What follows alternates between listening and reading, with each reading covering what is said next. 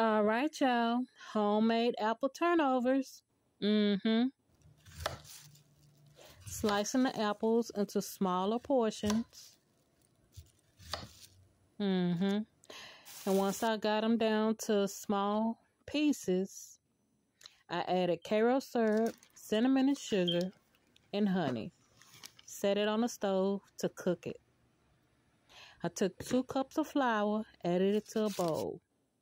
I added oil, cinnamon and sugar, yeast, and warm water. Formed it into a ball.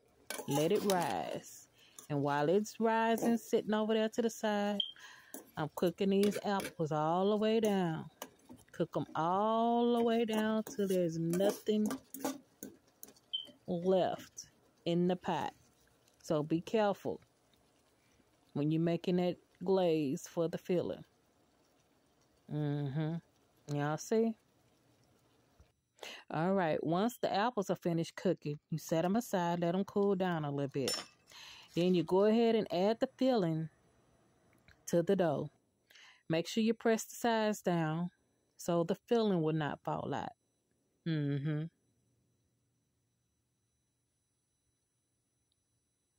Make sure you dust them before you add them to the oil.